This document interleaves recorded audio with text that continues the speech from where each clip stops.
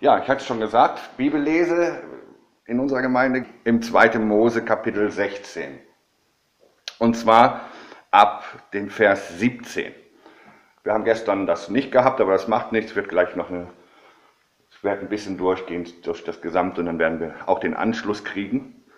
Das Volk ist aus Ägypten herausgeführt worden, war vorher in Gefangenschaft und ist jetzt unterwegs. Schon nach der Teilung des Meeres. Und dann gibt Gott einen Befehl, ich glaube, ich muss mal bei 16 anfangen, ja. Das ist aber, was der Herr geboten hat. Ein jeder sammle, so viel er zum Essen braucht, einen Krug voll für jeden nach der Zahl der Leute in seinem Zelte. Also ein Krug voll, meine ich, hätte ich herausgefunden, sind zweieinhalb Liter. Aber ich kann mich jetzt täuschen. Also pro Person zweieinhalb Liter sammeln. Und die Israeliten taten's und sammelten. Einer viel, der andere wenig. Aber als man's nachmaß, hatte der nicht darüber, der viel gesammelt hatte, und der nicht darunter, der wenig gesammelt hatte. Jeder hatte gesammelt, so viel er zum Essen brauchte. Und Mose sprach zu ihnen, niemand lasse etwas davon übrig bis zum nächsten Morgen. Das war der Vers 19, da werden wir gleich nochmal drauf zu sprechen kommen. Aber sie gehorchten Mose nicht und etliche ließen davon übrig bis zum nächsten Morgen. Da wurde es voller Würmer und stinkend. Und Mose wurde zornig auf sie. Sie sammelten aber alle Morgen, so viel ein jeder zum Essen brauchte. Wenn aber die Sonne heiß schien, zerschmolz es.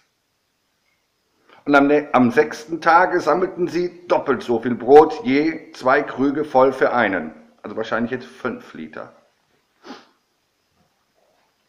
Und alle Vorsteher der Gemeinde kamen hin.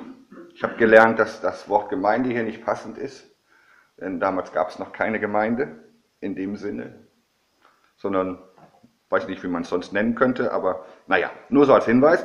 Und alle Vorsteher der, dies, dieses Volkes Gottes kamen hin und verkündigten Mose, verkündigten es Mose dass so viel gesammelt werden konnte. Und er sprach zu ihnen, das ist, was der Herr gesagt hat. Morgen ist Ruhetag, heiliger Sabbat für den Herrn. Was ihr backen wollt, das backt. Und was ihr kochen wollt, das kocht. Was aber übrig ist, das legt beiseite, dass es aufgehoben werde bis zum nächsten Morgen. Und sie legten es beiseite bis zum nächsten Morgen, wie Mose geboten hatte. Da wurde es nicht stinkend und war auch kein Wurm drin. Da sprach Mose, esst dies heute, denn heute ist der Sabbat des Herrn. Ihr werdet heute nichts finden auf dem Felde. Sechs Tage sollt ihr sammeln, aber der siebente Tag ist der Sabbat. An dem wird nichts da sein. Aber am siebten Tage gingen etliche vom Volk hinaus, um zu sammeln und fanden nichts. Das war Vers 27, vielleicht sollten wir auch darauf ein Augenmerk mehr legen. Aber am siebenten Tag gingen etliche vom Volk hinaus, um zu sammeln und fanden nichts.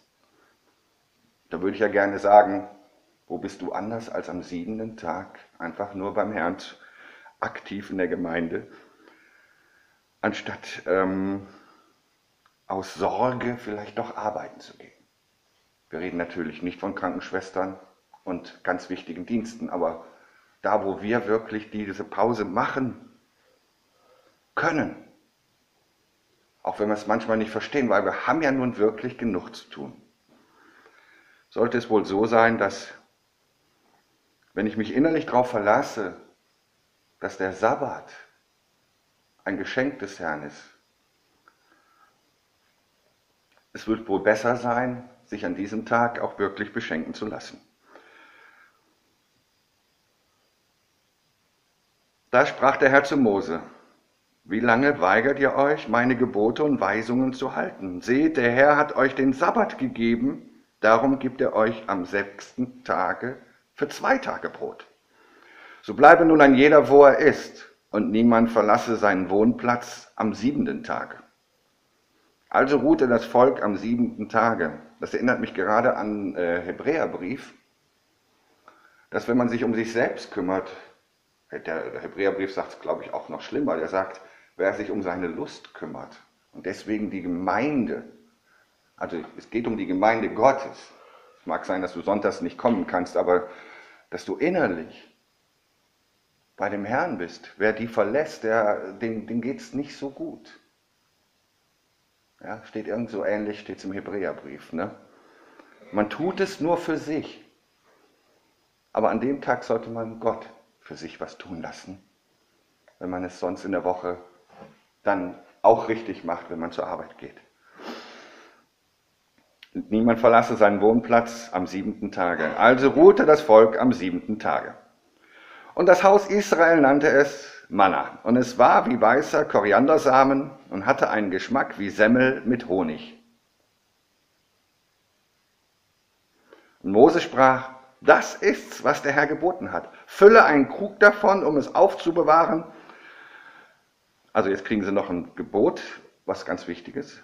Das ist, was der Herr geboten hat. Fülle einen Krug davon, um es aufzubewahren für eure Nachkommen, auf dass man sehe das Brot, mit dem ich euch gespeist habe in der Wüste, als ich euch aus Ägyptenland geführt habe. Wir hatten das auch am 24. in der Andacht, der Hinweis, die Väter, die Glaubensväter, sind wichtige vergangene Geschichte. Da brauchen wir uns jetzt nicht immer neu zu überlegen, so habe ich das noch im Ohr, wir brauchen uns nicht mehr neu zu überlegen, ähm, wie muss ich irgendwas gestalten mit Gott und Gemeinde und Reich Gottes. Da können wir auf die Glaubensväter hören. Auch diese Glaubensväter, Mose, etc., etc., etc., etc., etc. Und dann wird hier ein Krug voll weggetan und in Stiftshütte gab es das schon, die, die, erste Form von der Stiftshütte, keiner nein, einer sagt nein zu mir. Auf jeden Fall gab es irgendwie so einen Ort, wo man sagt, das stellt ihr vor dem Herrn, das haltet mal weg. Ja, so wie später auch mal gesagt wurde, erzählt euren Kindern. Und heute die Juden erzählen ihren Kindern natürlich immer noch vom Auszug aus Ägypten, als ob sie selbst dabei gewesen wären. Nicht als die Geschichte von den anderen, von den Glaubensvätern, sondern es war ihr, es ist ihr Leben. Genauso wie Jesus am Kreuz vor 2000 Jahren unser Leben werden möchte. Es soll nicht nur eine menschliche Geschichte sein, wo wir dann sagen, wow, wow, wow, toll. Ja, da hat der Jesus für uns was ganz Tolles getan, da hat er unsere Sünde getragen. Nützt ja nur nichts, wenn dieser Jesus nicht dein Leben wird. Ich habe mich ja schon mal öfters gefragt, Jesus hat alles vollendet. Er sagte am Kreuz, es ist vollbracht. Und dann könnte man sich als Mensch fragen, tja toll, ich glaube, das war aber faktisch sehe ich das in meinem Leben nicht so viel, dass es vollbracht ist. Oder andere Menschen erzählen sogar, wenn sie mich angreifen oder wenn Christentum, Christsein angegriffen wird, tja, wenn man ihr Christen sagt, Jesus hat alles verbracht, da guck dich mal um. Da siehst du aber nichts. So verhungern überall, Kriege sind überall, etc., etc., etc. Aber diesen Faden müssen wir wirklich festhalten. Du kannst jetzt antworten als Mensch und sagen, naja, das sind ja die Menschen schuld, das ist ja nicht ja Jesus schuld. Aber das ist, das ist nicht die Antwort. Die Antwort ist, sich am Kreuz Christi festzuhalten und herauszufinden, wie dieses vollbrachte Werk sich mit dir verbinden kann. Wie dieses vollbrachte Werk sich mit dir verbinden kann. Glaubensväter, Geschichte ist schön. Aber du musst damit verbunden sein. Und das macht wiederum nur er. Aber wenn diese Verbindung nicht da ist, dann habe ich tausende Erklärungen, warum es in der Welt schlecht geht. Oder warum es mir zwischendurch auch mal schlecht geht. Oder warum es dem Volk Gottes in der Wüste schlecht geht. Ich habe tausend Erklärungen. Aber die Antwort liegt immer dem, in dem Kreuz Christi. Wenn ich das losgelassen habe, dann habe ich eine Vielfalt von Spiritualitäten und Eventualitäten, wie ich das Wort auslegen könnte, verstehen könnte. Wenn du selber nicht mit diesem Kreuz verbunden bist, dann ist jede Erklärung, sei sie noch so toll und so tief, nur spirituell, aber nicht dein Leben. Und Jesus möchte verbunden sein mit deinem Leben. Nicht nur mit einer Geschichte, weil sonst ist Gottesdienst auch langweilig. Alles ist langweilig. Wenn ich mit dem Leben der Gemeinde nicht verbunden bin, und hoffe, dass am Sonntag mal wieder ein toller Prediger da steht. dann wird der Herr mich einmal enttäuschen. Oder wenn ich dann zum Beispiel denke, was mir oft passiert ist, ach, das wird nichts am Sonntag, das ist ja wieder der. Und dann lässt Gott mich gerade an dem Tag ziemlich weit vorne sitzen, damit ich nicht zwischendurch aufstehen kann und an die Qualm gehen kann. Und es gibt dann auch noch keinen Kindergottesdienst, wo ich mich dann so rausschleiche, so im Stil von, ah, ich bin ja Kindergottesdienstmitarbeiter, die wissen ja gar nicht, dass ich heute nicht dran bin. Und schon kann ich an die Qualm gehen und dann meinen Kaffee da in der Cafeteria trinken, während die Predigt läuft. Aber an dem Tag komme ich nicht raus. Und der Bruder, wo ich dachte, ach, da kommt nichts, ich kenne ja den seine Einstellungen, dem seine Theologie, das wird nicht mehr so dicke tief und so. An dem Tag sitze ich da vorne und eine Sache zeigt der Herr mir auf jeden Fall. Ungeachtet jeglicher Predigt, die gepredigt wird. Da steht dein Bruder, den habe ich da hingestellt. Und dann wird mir auf einmal groß und wichtig in mir, wie wertvoll der da ist. Und dass sein Bestimmungsort das Entscheidende ist und nicht, was ich von ihm halte. Und es verändert mich, weil es wiederum die Liebe Gottes ist, die da spricht. Nicht, wie toll einer begabt ist, was einer redet, was für eine Tiefe er hat, sondern du als Person bist wichtig. Und das will Gott uns zeigen. Ja, wie bei diesem Losungsanfang. Äh, ja, durch die Verbindung mit Gott gibt es eine Verbindung untereinander. Und so entsteht das Kreuz. So zeigt uns, dass Gott den Mittelpunkt von Anfang der Welt auf das Kreuz Christi legt. Immer schon. Im Hebräerbrief heißt es übrigens auch, dass Mose lieber Christi willen nicht in der Abstammung zur irdischen Verbindung stand. Die Tochter vom Pharao hat ihn ja großgezogen. Also der Pharao war praktisch ein Ziehoper.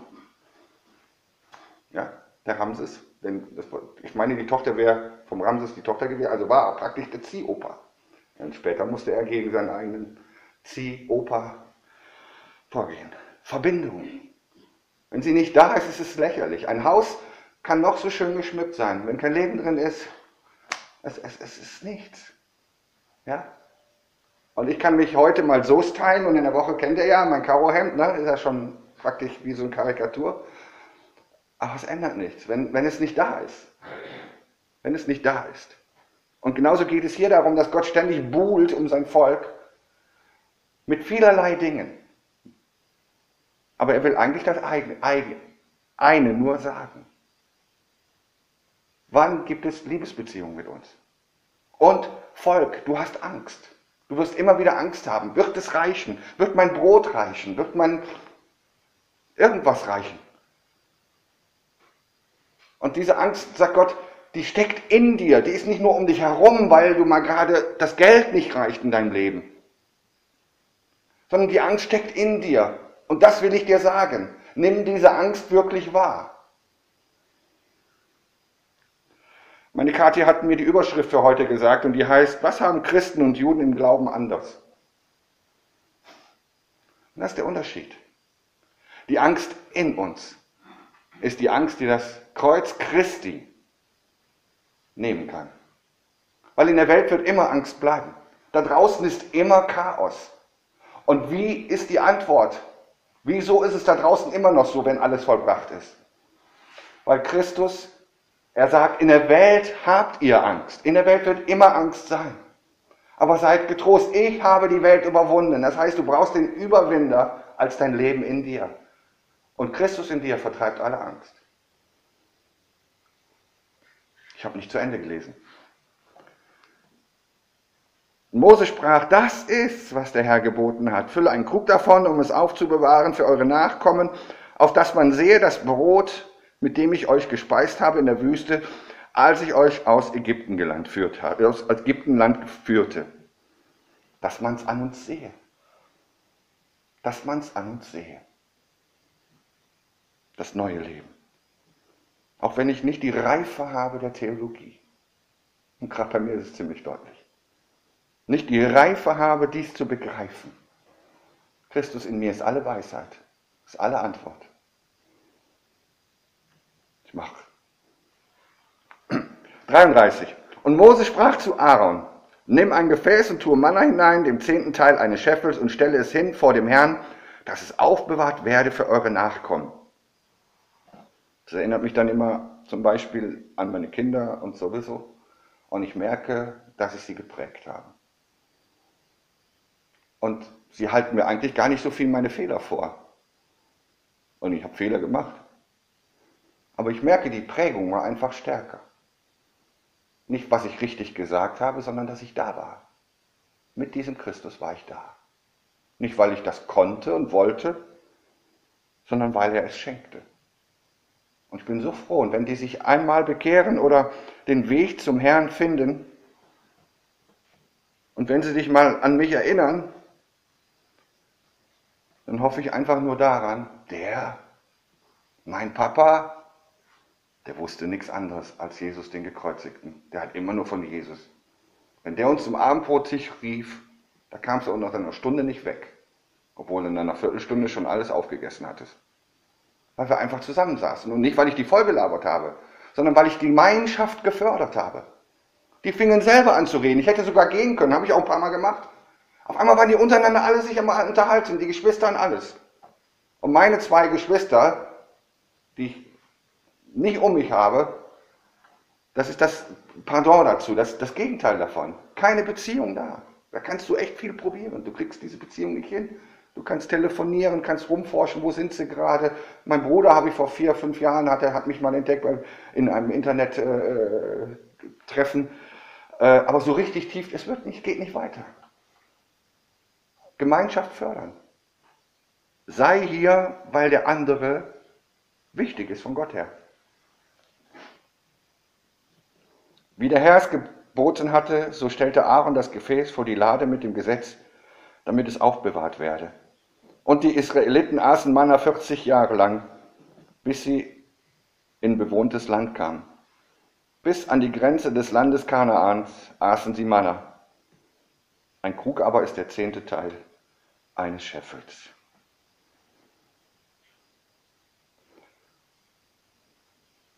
Herr, wir möchten dich bitten, dass du groß wirst, dass du uns